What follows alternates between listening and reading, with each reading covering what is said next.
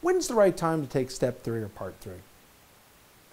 If you're a U.S. graduate, you can't take it till you're already got a year's worth of training.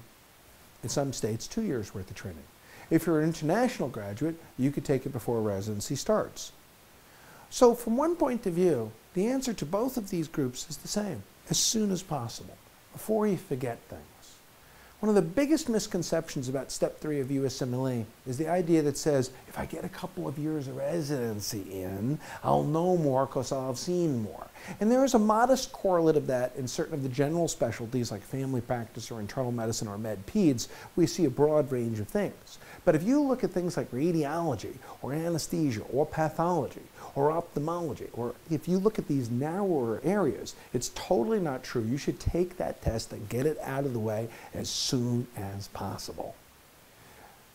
The preparation for this can be our books on Step 3 USMLE and where you combine it also with the CCS books that give you the cases you're most likely to see.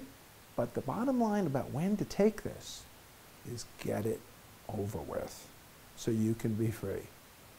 You're not going to stop worrying, but at least we can help you worry about bigger and better things than step three.